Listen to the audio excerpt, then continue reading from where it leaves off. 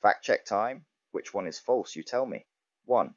The Westland Lynx Mk2 was equipped with jet engines for supersonic speeds. 2.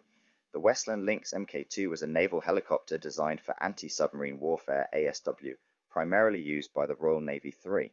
The Lynx Mk2 was a naval helicopter designed for anti-submarine warfare ASW, primarily used by the Royal Navy.